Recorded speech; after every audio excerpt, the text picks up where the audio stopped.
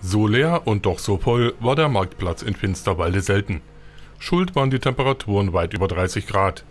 Diese sorgten dafür, dass sich die zahlreichen Zuschauer des Festkonzertes anlässlich des 60-jährigen Bestehens der Städtepartnerschaft Finsterwalde-Montater eher ein schattiges Plätzchen am Rande des Marktplatzes suchten.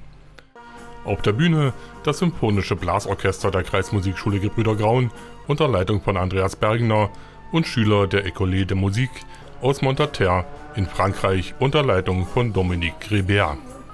Musikalisch ließ man gemeinsam die Geschichte der Städtepartnerschaft Revue passieren. Es war im Jahr 1962, da hat sich ein Renault 4 über holprige Straßen gen Mitteldeutschland geschlichen und die Insassen kamen aus Frankreich und waren gemischter Gefühle.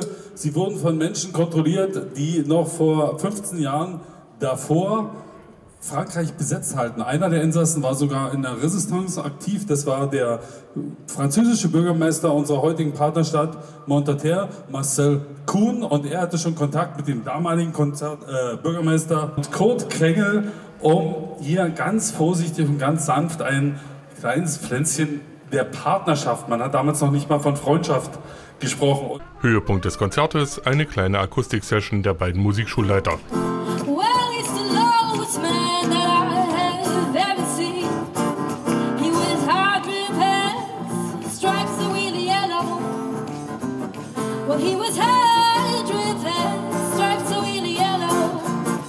Die beiden Vollblutmusiker lernten sich im Zuge der Städtepartnerschaft kennen und schätzen. Beide Musikschulen trafen auch schon mehrfach bei verschiedenen Gelegenheiten aufeinander. Als Zeichen der Anerkennung überreichte Chris Poller dem Gast aus Frankreich ein kleines Präsent. Und natürlich musizierten beide auch gemeinsam zur Freude des Publikums. In unserem Lausitzwelle Kulturfenster können Sie beide demnächst gemeinsam musizieren, sehen und hören. Yes, I think to myself,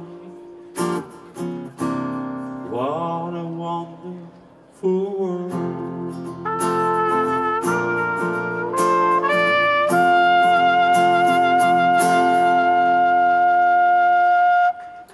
Merci beaucoup, Dominique Hubert.